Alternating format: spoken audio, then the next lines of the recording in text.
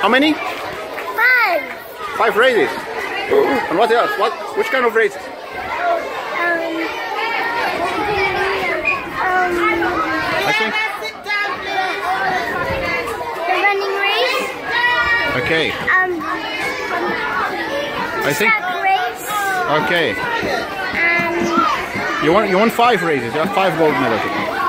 That's excellent. That's, that's a new record for you. That's amazing. Well done, Luki. I'm gonna do some more races. And you got some more races. Good luck and all the best. See you.